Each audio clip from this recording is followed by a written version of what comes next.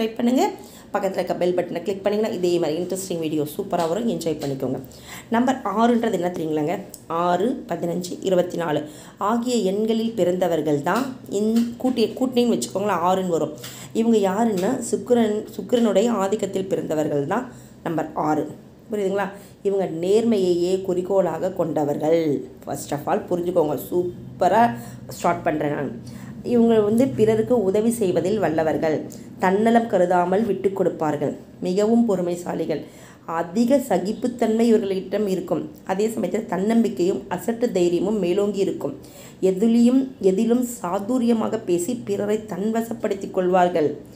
நான் வச்சுக்கோங்க பிடிவாத குணம் கொண்ட இவர்கள் பிறருக்கு அடிபணிவது என்பது இயலாத காரியம். நீதியை நிலைநாட்ட வேண்டும் என்ற லட்சியம் கொண்டவர்கள். அதோடு தனக்கு மிஞ்சியதைத்தான் பிறருக்கு தானமாக கொடுப்பார்கள். எந்த காரியத்தை இறங்கினாலும் சரி அதில் லாப நஷ்டம் பார்ப்பாங்கங்க. அதன் பிறகு தான் அந்த காரியத்திலேயே அவங்க இறங்குவாங்க. அசால்ட்டாலாம் இறங்க மாட்டாங்க. அதோடு பார்க்க போனீங்கன்னா இவங்க குதர்க்கமாகவும் அடை பரிகாசமாகவும் பேசுவாங்க.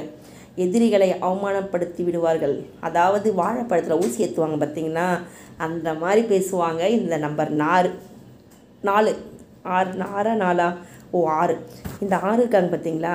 இவங்க அப்படி தாங்க ஸோ நேர்மையாக பேசினாலும் மொத்தத்தில் அவங்க எப்படி சாயிறாங்களே அவங்க பக்கமாக அப்படியே சாயணுங்க.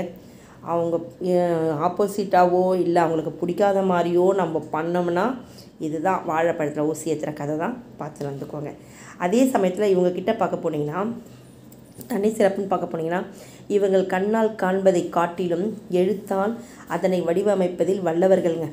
எல்லா உயிர்களிடத்திலும் பாசம் காட்டுவார்கள்.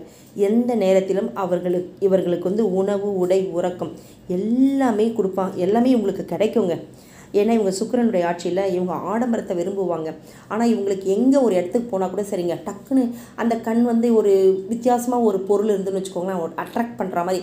அந்த பொருள் தான் அது விலையெல்லாம் பார்க்கவே மாட்டாங்க. ரிச்சாக இருந்தாலும் எப்படி இருந்தாலும் அந்த அட்ராக்ட் பண்ணுற மாதிரி கண்ணுக்கு கண்ணை கவரும் ஒரு பொருளாக இருந்தால் டக்குன்னு அது வாங்கிடுவாங்கங்க ட்ரெஸ்ஸோ பொருளோ இல்லை இப்போ வச்சுக்கோங்க ஒரு காரோ அந்த மாதிரி எதுவாக இருந்தாலும் சரிங்க. அந்த மாதிரி இவங்களுக்கு பிடிச்சிருச்சுன்னா அந்த பொருள் எவ்வளோ விலை கொடுத்தாலும் வாங்குவாங்க. அந்த மாதிரி ஒரு குணம் இவங்க கிட்டங்க. அதான் சொன்னேங்க இவங்களுக்குன்னா என்ன வேணால் செய்வாங்க மற்றவங்களுக்குலாம் கொஞ்சம் யோசிப்பாங்க. தனக்கு மிஞ்சியதைத்தான் பிறருக்கு தானமாக கொடுப்பார்கள் ஞாபகம் வச்சுக்கோங்க. அதே சமயத்தில் பார்க்க போனீங்கன்னா கொஞ்சம் இவங்க பேராசை அதிகமாக இருக்குங்க. இவங்க ஆடம்பர பொருள்லாம் ரொம்ப ரொம்ப ரொம்ப ஆசைப்பட்டு அதை எப்படியாவது வாங்கிடுவாங்கங்க. அதுக்காக என்ன வேணால் பண்ணுவாங்க. தயவு தாட்சினியே இல்லாமல் போய் கூட சொல்லுவாங்க இந்த பொருள் வாங்கிறதுக்காக. புரியுதுங்களா? இந்த மாதிரியான எண்ணம் கொண்டவங்க தான் இவங்க. அதே சமயத்தில் பார்க்க போனீங்கன்னா இவங்க ஒரு குறிக்கோள் வச்சுட்டாங்கன்னா எப்பவும் அந்த குறிக்கோளை நோக்கியே ஓடிக்கொண்டிருப்பார்கள். அந்த எப்பவும் வந்து வாழ்நாள் முழுவதும் சிந்தித்து கொண்டே இருப்பார்கள்ங்க. ஏதாவது ஒரு குறிக்கோளை நினச்சிட்டாங்கன்னா அது எப்படியாவது கண்டிப்பாக வாழ்க்கையில் ஒரு நாளில் ஒரு நாள் அதை எட்டி பிடிச்சிருவாங்கங்க. அந்த எண்ணம்லாம் அந்த மாதிரியான நல்ல எண்ணமும் இவங்கக்கிட்ட இருக்குங்க. Anyway thank you